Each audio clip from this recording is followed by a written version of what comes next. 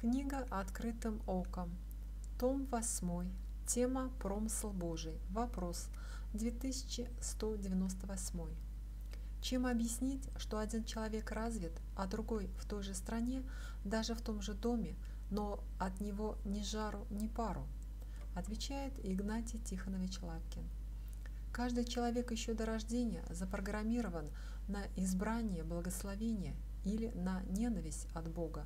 Псалом 46, 5. «Избрал нам наследие наше, красу Иакова, которого возлюбил». Малахия 1, 2. «Я возлюбил вас, — говорит Господь, — а вы говорите, кавычки открыты, в чем явил ты любовь к нам, кавычки закрыты. Не брат ли Исав Иакову, говорит Господь, и однако же я возлюбил Иакова.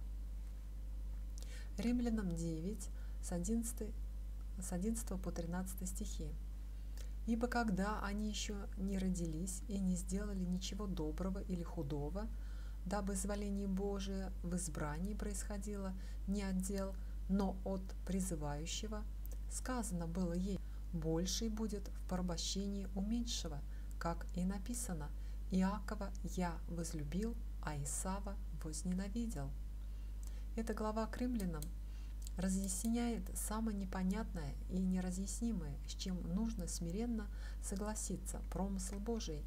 Его предведение нашей будущей жизни вмонтировано на отношении Творца к каждому индивидууму. Но от человека сокрыты замыслы Божии о нас, поэтому человека и нужно все делать так, как бы этого избрания и предизбрания не существует.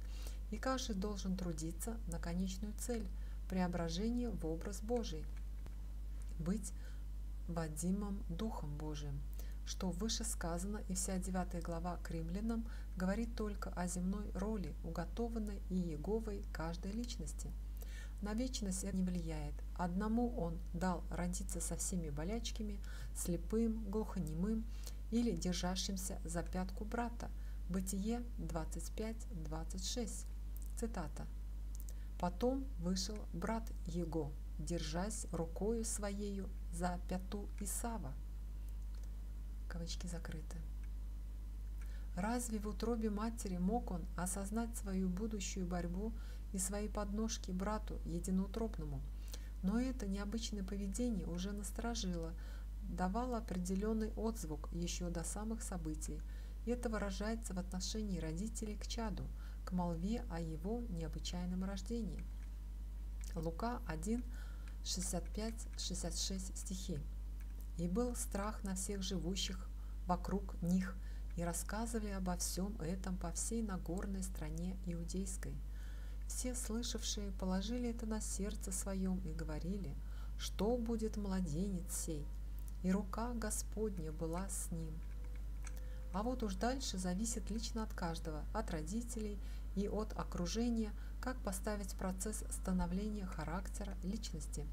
Будут говорить еще о наследственности, о яблоке, которое недалеко падает от яблони. Блудно нажитое дитя очень склонно повторить подвиги в кавычках своей мамаши. Иезекииля 16.45. Цитата.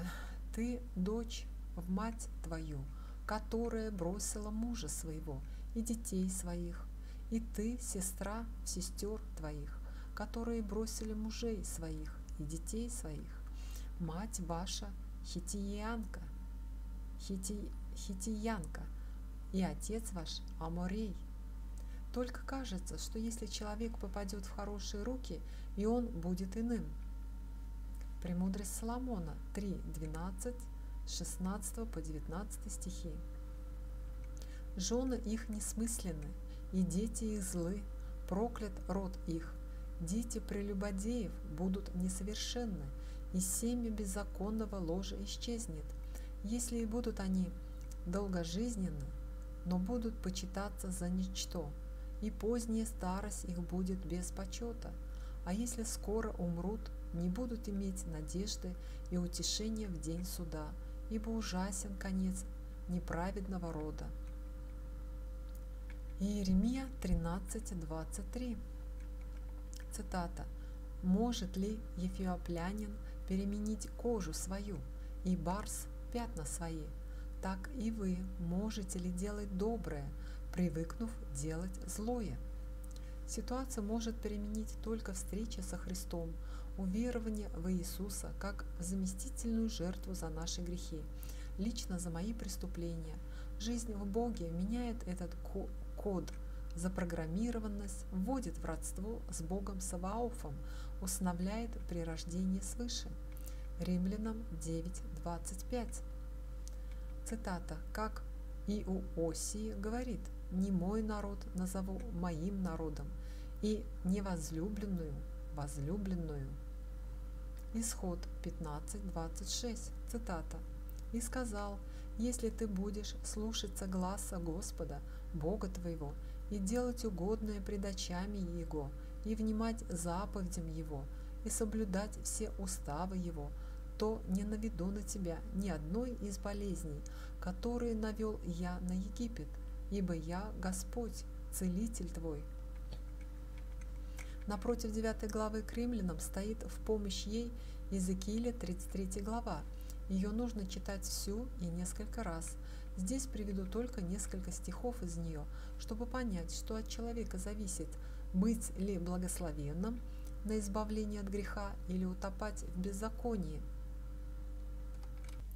Стихи с 12 по 20, 26. «И ты, сын человеческий, скажи сынам народа твоего, праведность праведника не спасет в день преступления его, и беззаконник за беззаконие свое не падет в день обращения от беззакония своего, равно как и праведник в день согрешения своего не может остаться в живых за свою праведность. Когда я скажу праведнику, что он будет жив, а он понадеется на свою праведность и сделает неправду, то все праведные дела не помянутся, и он умрет от неправды своей, какую сделал.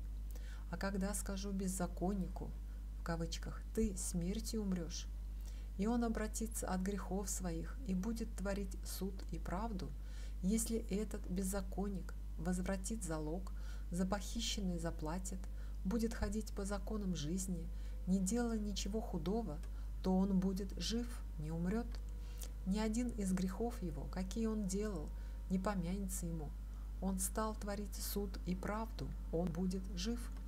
А сыны народа твоего говорят, кавычки открыты, не прав путь Господа, кавычки закрыты, тогда как их путь не прав. Когда праведник отступил от праведности своей и начал делать беззаконие, то он умрет за то. И когда беззаконник обратил, обратился от беззакония своего и стал творить суд и правду, он будет за то жив. А вы говорите, в кавычках, не прав путь Господа. Я буду судить вас, дом Израилев, каждого по путям его. Вы опираетесь на меч ваш, делаете мерзости, оскверняете один жену другого и хотите владеть землею, Ничто так не подавляет правильный рост растения, как лежащий сверху тяжесть, камень, отсутствие света, влаги и тепла. С великим трудом, изогнувшись, только уж очень сильное семя может пробиться к свету. Заграничные богатые, но бездетные люди усыновляют русских уродов, брошенных грязными тварями – делают дорогостоящие операции, лицо приобретает нормальный вид у обреченного младенца, его ставят на ноги, открывают таланты, но воспитание должно быть свободным в, в определенных рамках закона, религиозного и гражданского. Если нет этой установки, то, то дитя может расти свободным, боевым, склонным к убийству и к самоубийству.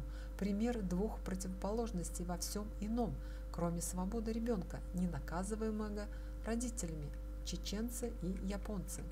И эти два полюса теряют разницу между собой во Христе, когда обращаются к Искупителю, усыновляются и делаются едиными в теле Христовом.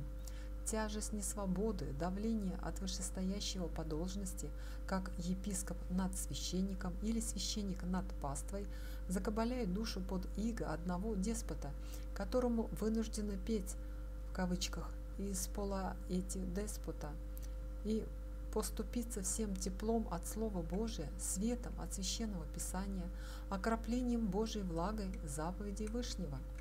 Ничто так не уничтожает, не подавляет природную тягу к раскрытию личности, характера, как страх от близких, несвобода, утопляющая или в убийственной дерзости, или в обычной и незаметной трусости во всем. Эта трусость оправдывается затем самим самим ее владельцем и хранителем и делает его апологетом трусости, корысти и всепроникающей лжи во всем.